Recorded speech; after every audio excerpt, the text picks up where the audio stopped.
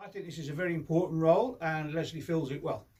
Uh, she's a keen link within the community, uh, bringing everybody together where she can.